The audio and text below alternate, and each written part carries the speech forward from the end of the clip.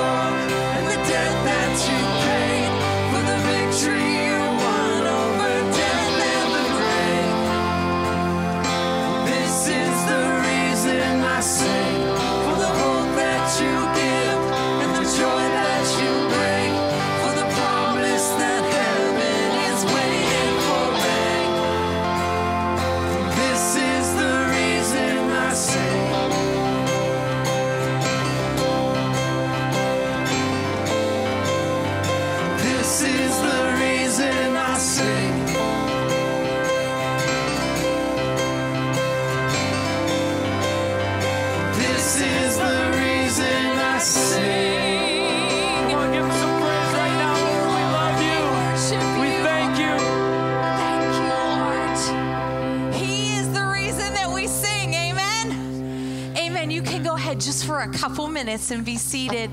We just have a few announcements. As Pastor Jeremy has already said, Happy Mother's Day to all the moms. As you are leaving, ladies, as all of the ladies are leaving this morning, there will be a gift for you. So please see Bobby Joe at the end of service, and she will have those for you. We just want to say to all the ladies, those that are moms and those of us that are not. Happy Mother's Day, and we appreciate and love the ladies, the women of our church. Amen. Just a couple brief announcements. For all of the announcements, please see your bulletin. But um, a couple things. This coming Saturday is Hearts and Hands for Him breakfast.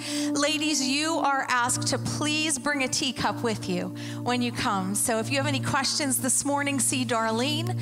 And also, we are going to be having our first fellowship of the summer. We are super excited. That's right, Aaron. Go ahead and clap.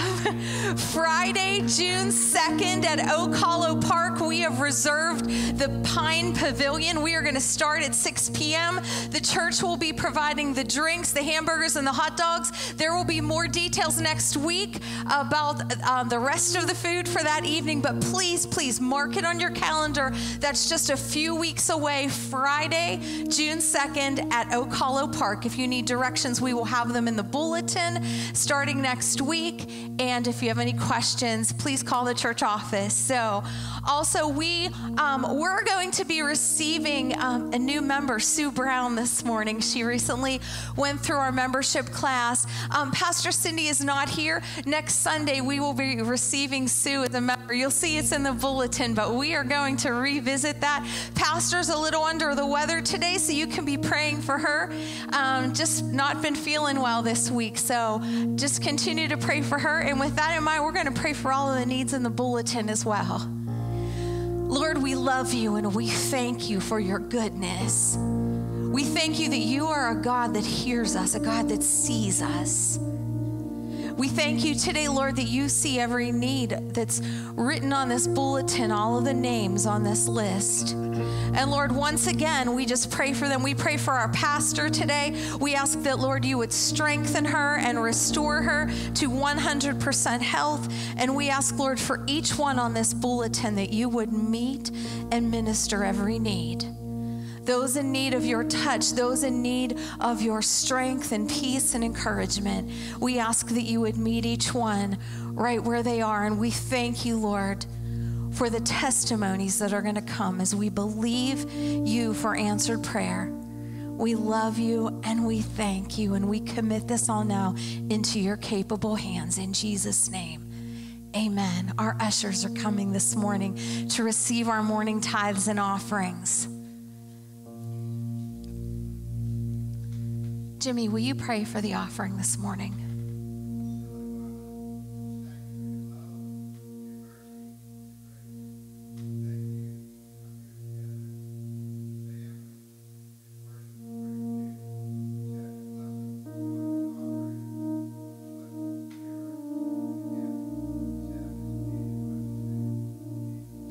Amen. As the ushers pass you by, you can stand as we continue to worship this morning.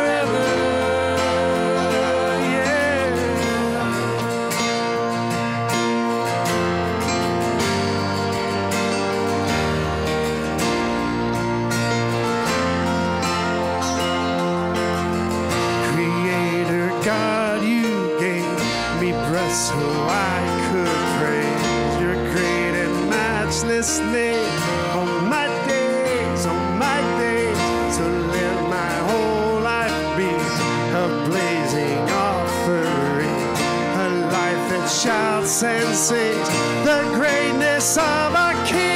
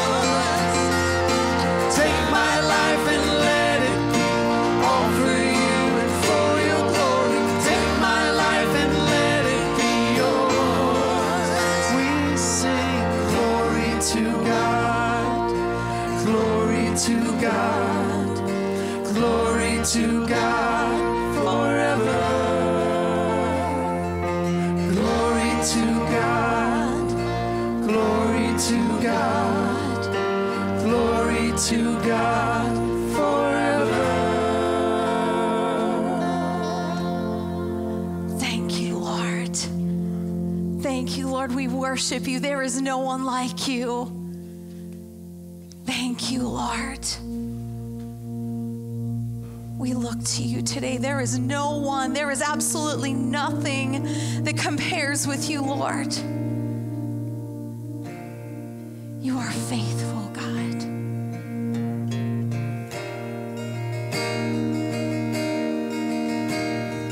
Christ is my first.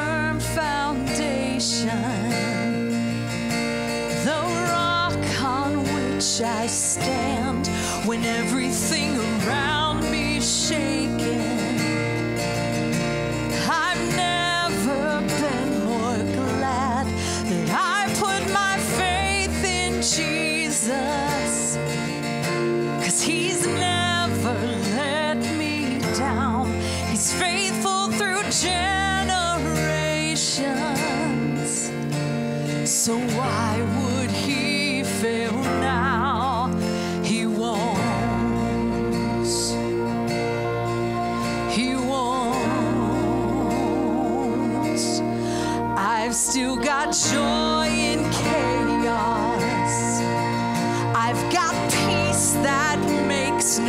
sense, so I won't be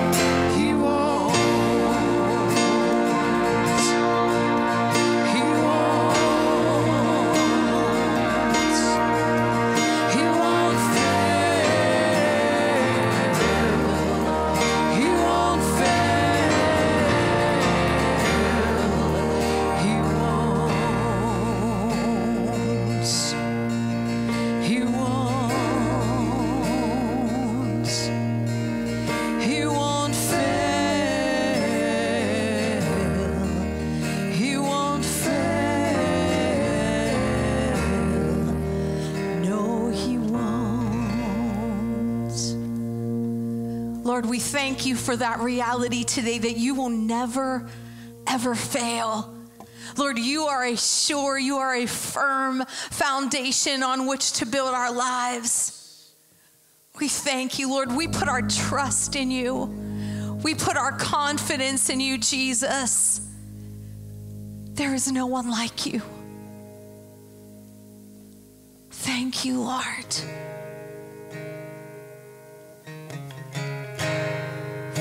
Jesus.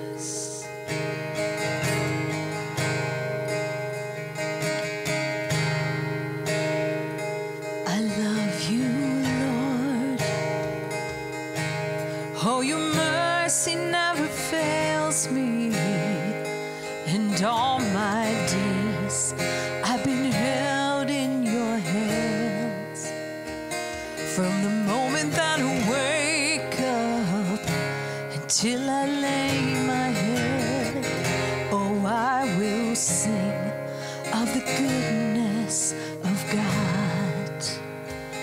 I love you, Lord. Oh, your mercy.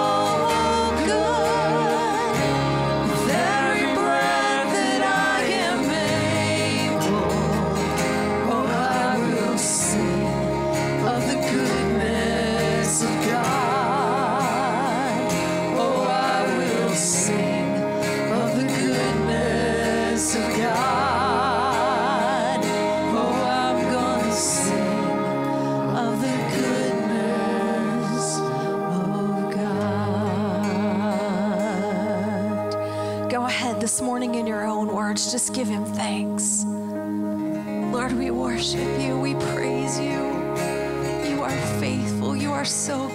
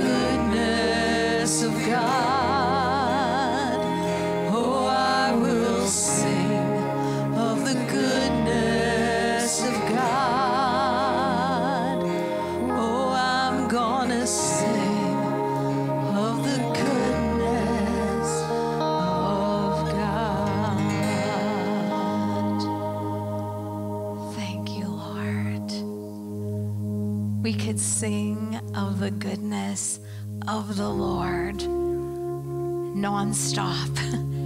We will sing of the goodness of the Lord for eternity.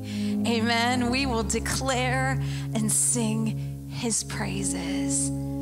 You can go ahead this morning and be seated. Pastor Bill is coming this morning to bring the word to us.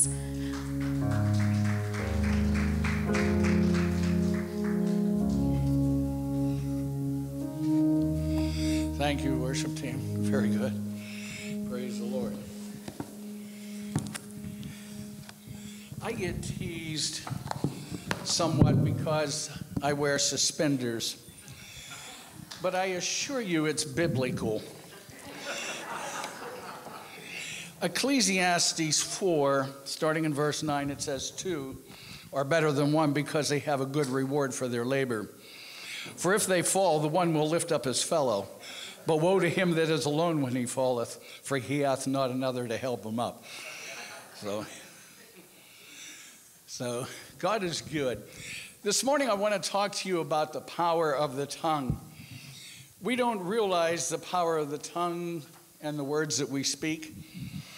We can lift up, encourage, edify, exhort in one moment, and tear down, destroy, and crush the next with the same tongue. Proverbs 18:21 tells us death and life are in the power of the tongue. For as little as the tongue is, it's surprising how few people can hold it. Even a fish doesn't get in trouble if he keeps his mouth shut. James 3:8 tells us, "But the tongue can no man tame; it is an unruly evil, full of deadly poison." But James 3 2 tells us that if any man is able to bridle his tongue, he is a perfect man. It is better to have people think you're a fool than open your mouth and prove it. You know, just try to hold onto the tongue. Our text today is Mark 11 20 to 26. And in the morning, as they passed by, they saw the fig tree dried up from the roots. And Peter, calling to remembrance, saith unto him, Master, behold, the fig tree which I cursed is withered away. And Jesus answering saith unto him, Have faith in God. For verily I say unto you that whosoever shall say unto this mountain, Be thou removed and be thou cast into the sea, and shall not doubt in his heart, but shall believe that those things which he saith shall come to pass, he shall have whatsoever he saith.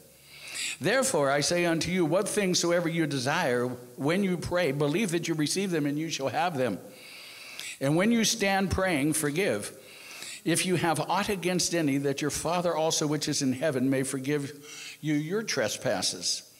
But if you do not forgive, neither will your Father which is in heaven forgive your trespasses. The events of this week in our context was the Passion Week. Jesus had entered victoriously into Jerusalem, where he was held as Messiah, the son of David, and they were shouting, Hosanna. And Jesus came to the fig tree, which should have had fruit. The fig tree is symbolic of Israel. And it did not, and so he cursed it. He was, he was cursing the religious practices of Israel. Everything for Israel was routine, by rote, only with head knowledge and no heart knowledge. Everything was a ritual, and they were missing the time of their visitation.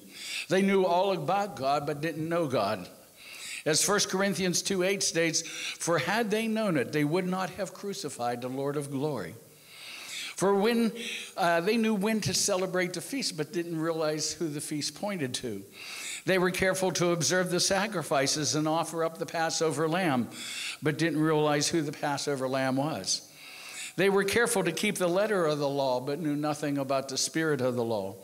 And Jesus cursed it and spoke uh, to the tree and said unto it. And I want to stop there for a moment. When was the last time you talked to a tree? I know there are tree huggers out there, but when was the last time you talked to a tree? Verse 14 reads And Jesus answered and said unto it, No man eat fruit of thee hereafter forever. And the next morning, Peter points out that it dried from the roots up. It didn't die in a normal way from the top down, but supernaturally from the roots up, and the tree had withered away. Then Jesus says unto them, Have faith in God. What the Greek technically is saying here, have the faith of God have God faith. What kind of faith is God faith? On the first day of creation, God said, Let there be light, and there was light. God didn't jump back and say, Whoa, I never thought that was going to happen. You know, He knew it was going to happen. He spoke it, and it became. Having the faith is not doubting whatsoever. In the faith chapter, Hebrews 11 and verse 1, it says, Now faith. The faith you have right now, not the faith of uh, tomorrow or the faith sometime in the future, but now faith is believing you have the substance of things hoped for without any evidence of them being seen. Hebrews 11, 6, but without faith it is impossible to please him, for he that comes to God must believe that he is and that he is a rewarder of those that diligently seek him. When God speaks to your heart and gives you a promise, and you hear from God, you must believe Him that He is going to fulfill that thing that He has spoken to you. That not only is He able to give you the desires of your heart, because most would consent, yeah, I know God's able, but you believe He is going to do it. He is going to do what He has promised. Then Jesus goes on in verse 23 to say, For verily I say unto you that whosoever shall say unto this mountain, Be thou removed and cast into the sea, and shall not doubt in his heart, but shall believe that those things which he saith shall come to pass, he shall have whatsoever he saith. Now we move from talking to trees to talking to mountains here. And by the way, it doesn't take any more faith to remove a mountain than it does a tree. Uh, a mustard seed of faith can handle each of these equally well. But I want you to pay close attention what is going on here. Jesus is giving us a kingdom principle, and it has to do with what comes out of your mouth. For verily I say unto you, now, Jesus is uh, imparting something here that is important that he wants us to understand. Whosoever shall say unto this mountain, are we actually supposed to speak unto the mountain? Jesus says we are. He spoke to the tree and it obeyed him. And he's telling us if we say to the mountain, Be thou removed and cast into the sea, it's going to obey you. Jesus spoke to sicknesses, he spoke to leprosy, he spoke to diseases, and these seemingly inanimate objects obeyed him. In Mark 5, 8, 9, Jesus spoke to a legion of demons that was in the demoniac of Gadarenes, and they obeyed him. In Mark 4:39, Jesus is in the hinder part of the ship fast asleep, and his disciples feared that they were going to drown. And it reads, And he arose and rebuked the wind and said unto the sea, Peace be still. And the wind ceased, and there was a great calm. Jesus stood up and rebuked first the wind, and then he said unto the sea, Be thou still. Then he said to his disciples, Why are you so fearful? How is it that you have no faith? Would you classify someone who goes around talking to trees and wind and sea as someone who's a few fries short of a happy meal? That their elevator doesn't quite reach the top floor? You know, just Smith Wigglesworth in his healing ministry, he spoke to cancer, alcoholism, sickness, disease, and saw a plethora of supernatural healings. Smith Wigglesworth in his ministry is noted to have raised 31 people from the dead. On one occasion, he was asked to come and pray for their mother who had just passed away. He came into the room and he lifted her out of her, out of her bed and set her in the corner. And he held her with one hand, and with the other, he pointed into her face after slapping her a few times. And he says, Death, I rebuke you, come out of her. And she began to breathe. We can speak into inanimate objects. In fact, God is telling us to do. We've taken it from trees to mountains to death. Now let's take it up a notch. Let's try some other objects, something that's about a sixth the size of the earth or something that's 200 million times the size of the earth. In Joshua 10, 12 to 14, then spake Joshua to the Lord in a day when the Lord delivered up the Amorites of the children of Israel. And he said in the sight of Israel, he spoke it out plainly for all of Israel to hear what Joshua was saying. Sun, stand still upon Gibeon, and thou moon in the valley of Ajalon. And the sun stood still and the moon stayed until the people had avenged themselves upon their enemy.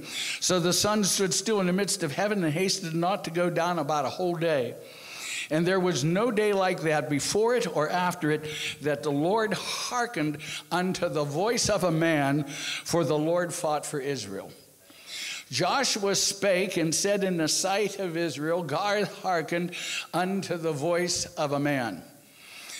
This is not name it and claim it and blab it and grab it theology, as we'll look at a couple other elements that come into play in this. But just to illustrate the biblical principle of speaking out in faith to things, objects and things that, hey, we're not in Kansas anymore, Toto. You know, just uh, we've entered into a supernatural world where things are different and they're on a different plane than in the natural world that we're used to living in. When Moses died, Joshua was chosen by God to be Israel's next leading leader, and he told Joshua that he would be with him as he was with Moses. He told him in Joshua 1 5 that he would not fail him nor forsake him. Joshua 1 6, be strong and of good courage. Joshua 1 7, stay in the word and don't deviate it from the right or to the left. Now listen to what God says to Joshua in 1 8. The book of the law shall not depart out of thy mouth but thou shalt meditate therein day and night, that thou mayest observe to do according to all that is written therein. For then thou shalt make thy way prosperous, and then thou shalt have good success. Now, who wouldn't want to be prosperous and have good success? Three simple things to do. The book of the law shall not depart out of thy mouth. You're to speak the word of God. And thou shalt meditate on it day and night. You're to believe the word of God and thou mayest uh, observe to do according to all that is written in, then you're to do the word of God. Speak it, believe it, and do it. Now let's go back to our text in verse 24. Therefore I say unto you, what things soever you desire when you pray, believe that you will receive them and ye shall have them. This is the second aspect of the passage, and it deals with believing. But there is somewhat something subtle in this, and that deals with prayer. What things soever ye desire in prayer. Prayer implies a certain amount of intimacy. Psalm 37 4 says, Delight thyself in the Lord, and he shall give thee the desires of thine heart. What is the promise? That he shall give you the desires of your heart. What is the condition? That you delight yourself in the Lord. If you delight yourself in the Lord, then God will give you the desires of your heart. When we delight ourselves in the Lord, we'll find that our desires begin to change. That they're not so self centered now, but reaching out more. They reach out to other ministries. Uh, as we minister to our fellow man, they reach out to ministry to God as we serve Him. And the closer we get to the Lord, our desires begin to change for a deeper intimacy with God. And now we no longer want that 65 inch TV set, but more time with God. We no longer would be delighted in more uh, jewelry or furs or cars or trucks, but more intimacy with God. When we delight ourselves with God, we become God focused and spirit oriented. And what was once the desire of our heart are no more the desires of our heart. And uh, they move from the carnal to the spiritual and from the natural to the supernatural. Psalm 46:10 reads, "Be still and know that I am God." The word know is the Hebrew word yada, which means to know in a deep, personal, intimate, and reverent way.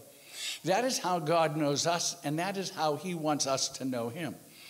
And He gives us a formula for drawing closer to Him in a more intimate way by being still before Him, drawing close to Him.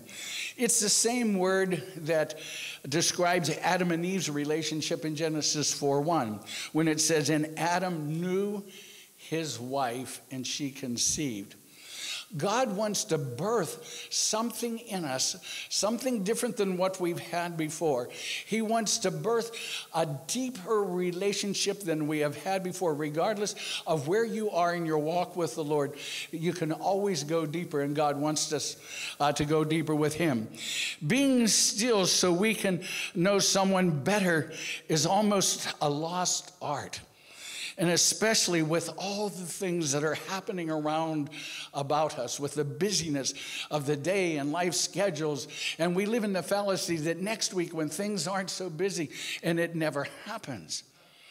In 1 Kings 19, we see Elijah coming to the mountain that God showed him. And there is a great strong wind that is blowing rocks off this mountain, but God was not in the wind. And there was an earthquake that was shaking the whole mountain, but God was not in the earthquake. Then there was a great fire, and God was not in the fire. And then there was a still small voice, and God began to speak, and Elijah was hearing what God was saying. Sometimes there is a lot of lightning and a lot of thunder, but there's no rain. You know, wait for the still small voice. Learn how to calm yourself and be still in a busy, chaotic world so that you can hear what God is saying. Prayer implies intimacy and closeness with, closeness with God so that we can hear the voice of God when He begins to speak to us. Years ago, Rex Humbard was on the Merv Griffin show, and Merv Griffin somewhat sarcastically said, Oh, so you're the man that God speaks to. And Merv and Rex Humbard says, God speaks to every man. What's he saying to you? There was quiet, then a commercial. Romans 10 17 tells us, So then faith cometh by hearing, and hearing by the word of God. When we spend time alone with God and become more intimate with God, and we become still, God begins to speak to us, and we know that we know that we know that we will have what we ask of Him. And here's where faith comes in that we have the assurance and we believe, and God gives us the desires of our heart. You know, just first the intimacy, then the product. First, the closeness with God, then we have what we need. Seek ye first the kingdom of God and his righteousness, and all these things will be added unto us. Verse 25 and 26 And when you stand praying, forgive. If you have aught against any, that your Father also, which is in heaven, may forgive you your trespasses. But if you do not forgive, neither will your Father, which is in heaven, forgive your trespasses. Unforgiveness will not only hinder your prayers, can make them null and void completely. To hold on to bitterness will destroy your relationship with God and certainly destroy your intimacy with God. In 1 Peter 2:18, it tells us, "Servants be subject to your masters with all fear, not only to the good and gentle, but also to the froward." The froward, the word froward means mean and nasty. Employees, be in subjection to your bosses, not only to the good ones, but also to the mean and nasty ones. You know, it's not the ups and downs that bother me, it's all the jerks. You know, even if your boss is a jerk, you know, God put them over you for a reason and a purpose, and we're to submit to all authority, God tells us in Romans 13. Now, in 1 Peter 3 1, likewise, ye wives, be in subjection to your own husbands. Likewise refers back to 1 Peter 2 17. Likewise, you wives, be in subjection to not only your good and gentle husbands, but also to the mean and nasty ones. Let's go a little further. 1 Peter 3 7. Likewise, ye husbands, dwell with them according to knowledge, giving honor unto the wife not only to the good and uh, gentle wise, but also the mean and nasty ones. And it goes on to say that your prayers not being hindered. If trees and mountains are going to be removed in your marriage, and if you're going to be prosperous and have good success, the husband and the wife have to be on the same page.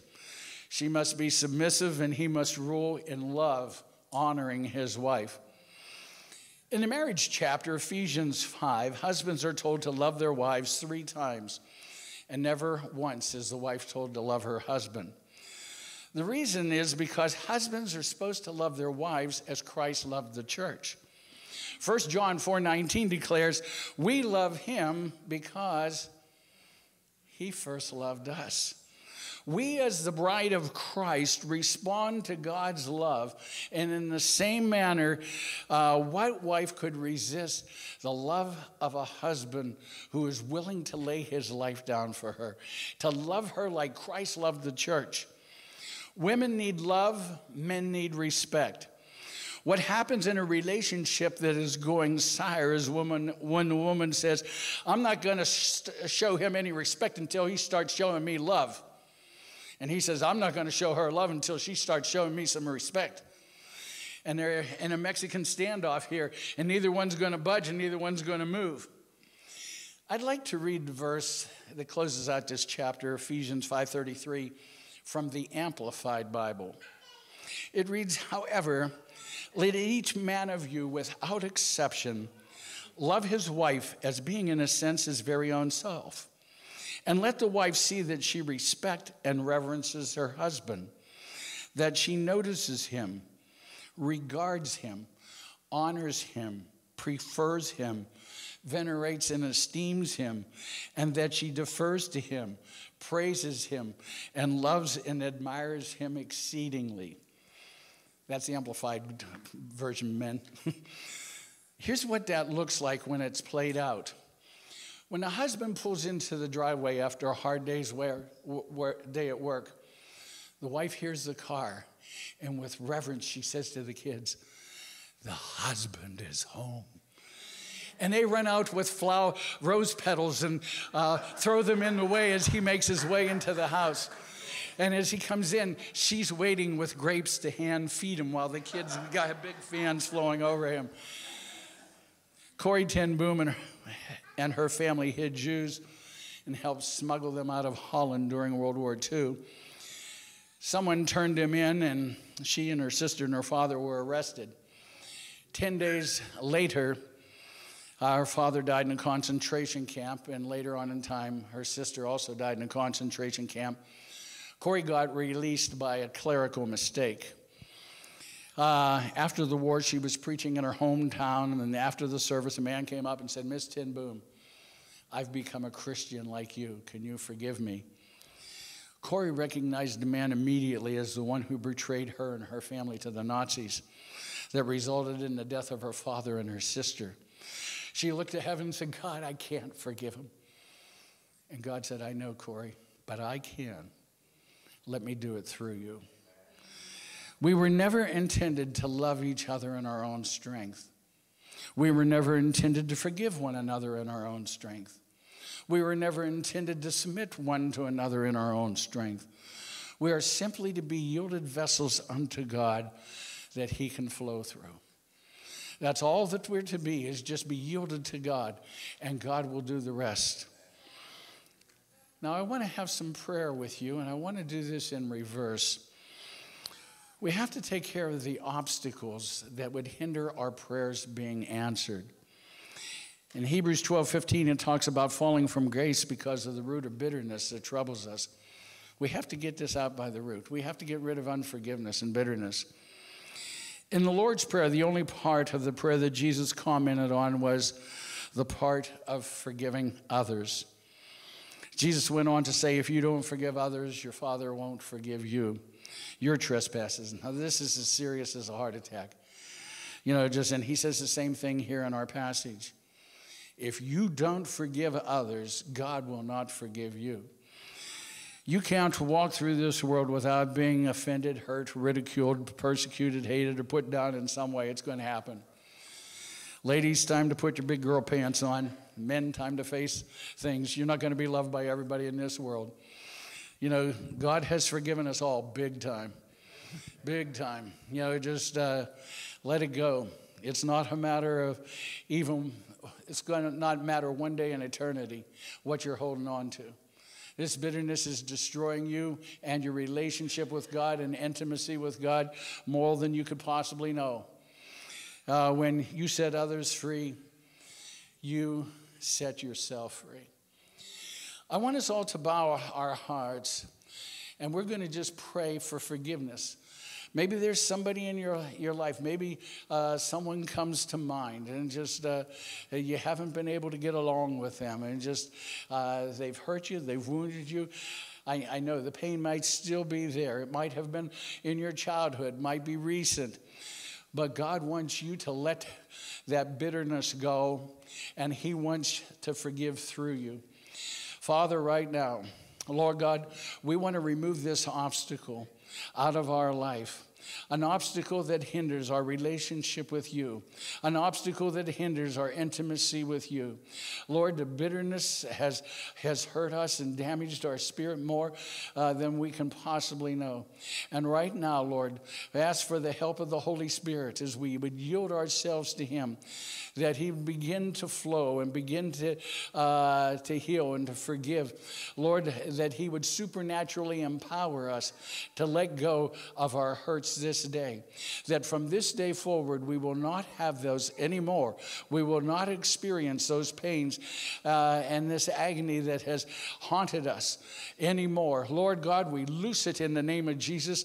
Ask, Lord, that you would uh, forgive them. We don't even want it mentioned in heaven. Lord, we ask that you would set us brother or sister free uh, from uh, these things in Jesus' name. Amen. That's the first part that we need to let go of the obstacles. Now let's look at some of the mountains that are in our lives.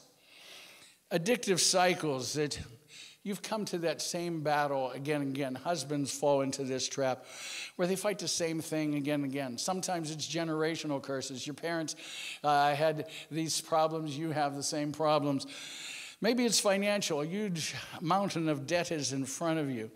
Now, you're going to speak to that mountain today and perhaps it's a washer a dryer or a car something that you need. God's a very practical God. He knows what things we have need of before we even ask. Maybe it's a particular sin uh, that so easily besets us. We fall into that trap over and over again. And that's going to be taken care of today as we begin to speak to these mountains. Maybe it's relationships, you and your spouse, you and your children are at odds. Maybe it's loneliness. A loved one has been taken away from you and it hurts. Or you long for a relationship. God knows the needs of your heart today. And just uh, maybe it's sickness or disease you're in pain or hindered from doing the things that you want to do. And it's tried to bring in fear and discouragement and pain with it. This morning, I want you to be very specific and I want you to speak to your mountain today. As we've seen in example after example, to trees, to mountains, to the sun and the moon, and uh, whatever, it's important to speak the things that we want in faith, believing that we shall have those things. And as I begin to pray for you, I want you to speak out loud so that that mountain can hear the thing that you are speaking to it, that it be gone. That today will be the last day that you are plagued with these things, this mountain that has stood in your way from enjoying uh, the peace of God, the fruits of the Spirit, uh, the things that God wanted to impart unto you. Feel free to speak out. Father, I just pray for uh, the anointing of God to have faith as we begin to speak to mountains that are in our lives. Lord God, that you would uh, go before us and that you would uh, cast these mountains away from us and cast them into the sea. We would speak against sin and we'd speak against sickness and disease, the things that pervert the life that God has promised us, life, of life more abundantly. Lord God, we speak to these things in the name of Jesus and command command them to be gone, to be no more in front of us. Lord God, that that mountain will be dwindled down very quickly. It'll be moved out of our way so that we may move on and press on to the high calling of God in Christ Jesus. Lord God, you know the things that we have need of. You know them before we even in ask. And you are already moving on our behalf for these things. So we speak unto the things that have uh, stood in front of us that they be no more, that they be cast away in the name of Jesus this very day. Lord God, that there would be a moving and an unction of God that would uh, free your people for your glory this day in Jesus' name. And God's people said, Amen. Amen. Now, let's pray. This is one of the easiest of all the three parts to pray because God wants you to pray it. He wants a closer relationship with you, He wants more intimacy. If you are content where you are, you will never go any deeper. If you are content where you are in your relationship with God, you'll never go any deeper. If you're content without revival, you'll never have revival. There has to be something inside you that desires more and a hunger. Oh, that I might know him, Paul said, that I might know him in the power of his resurrection and in the fellowship of his suffering Sometimes it goes along with that. But what I want to ask you are you willing to pay the price? There's a cost that comes with more intimacy and a deeper walk with the Lord.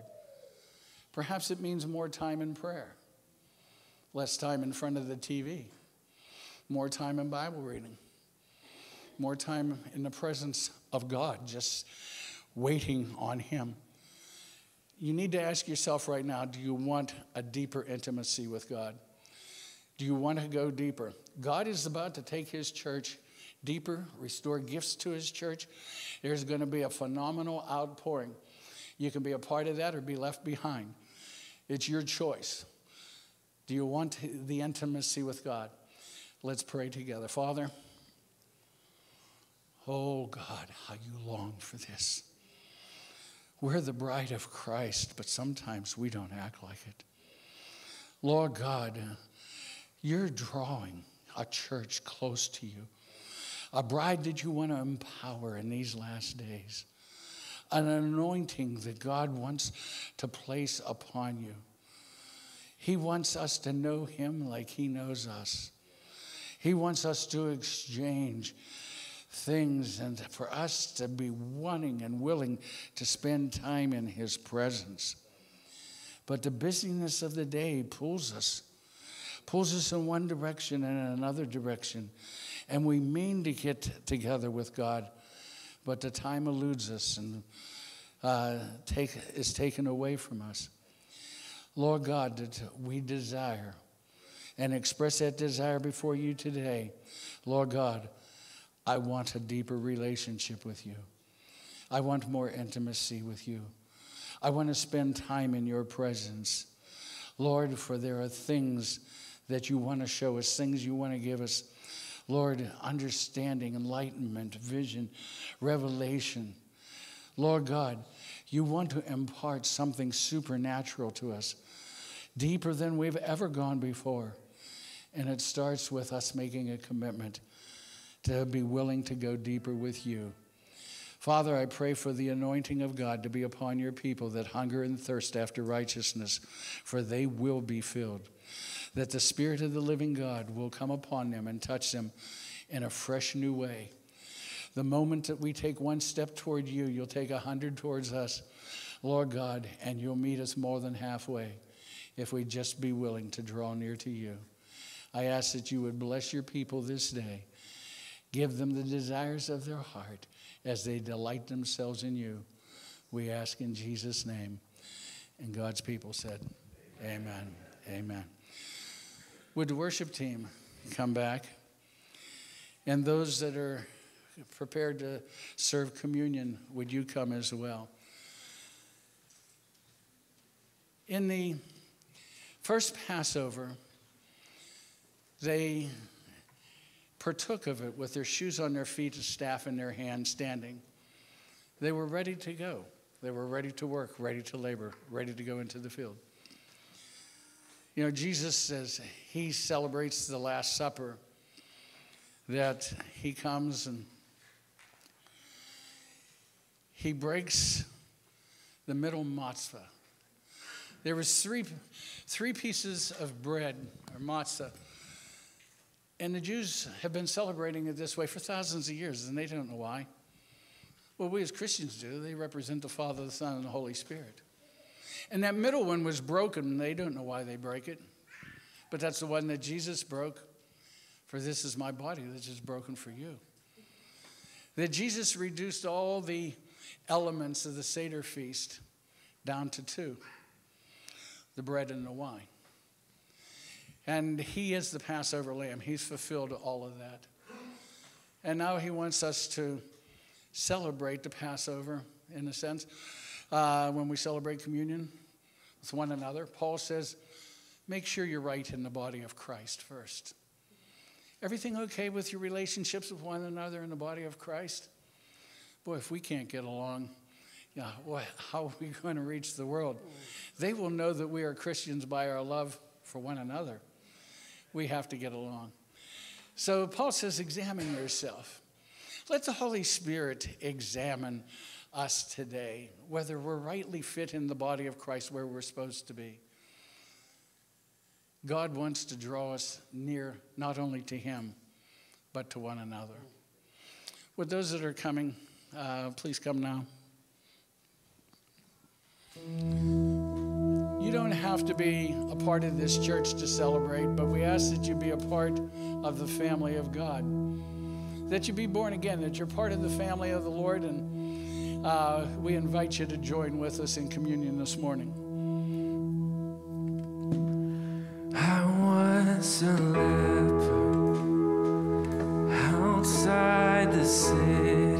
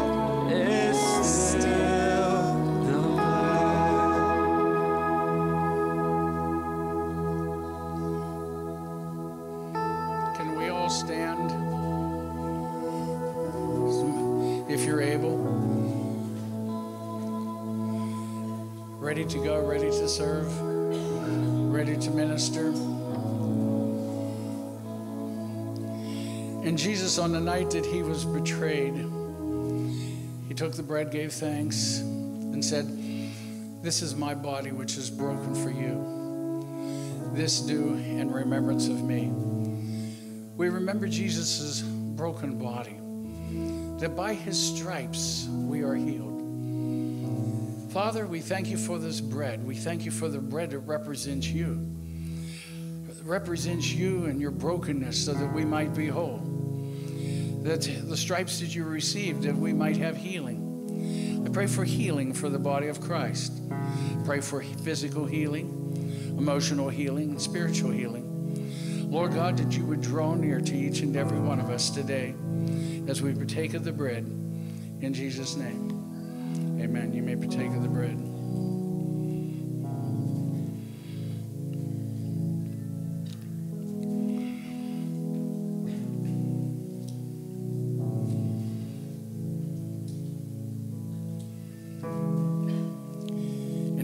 Same manner, Jesus took the cup and gave thanks for it. And he says, This is the blood of my new, new covenant. We've entered into a covenant with Christ, a blood covenant. Oh, thank you, Lord, for the blood that has washed away our sins. Thank you, Lord, for the blood that has cleansed us and made us a part of your body. We're thankful for the cleansing crimson tide from Calvary that washes us anew and again and again. For if we confess our sins, He's faithful and just to forgive us our sins and to cleanse us from all unrighteousness. So we ask for the cleansing power of what this cup represents to be our portion this day.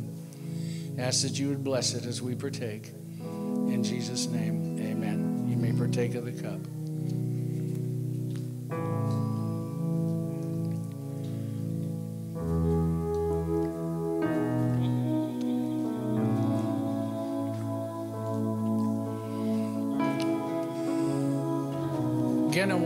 Wish all you mothers a happy Mother's Day. Today's Israel's 75th birthday. 75 years ago, Israel became a nation, started the end time prophetic clock clicking. We're living in a day when Christ can come at any means or any time. He said that we're to partake of the communion, the bread and the wine, showing until his coming. Might not be long, very much longer. Next time, maybe in the New Jerusalem, maybe in heaven. Father, we thank you, Lord, for this day. We thank you for the work of the Holy Spirit and what He does in our minds and our hearts. I ask, Lord, that at which you have sown today in our lives, Lord, that you'll perform it unto the day of your coming. Draw us close to one another and closer to you. We ask your blessings in Jesus' name. Amen. Amen.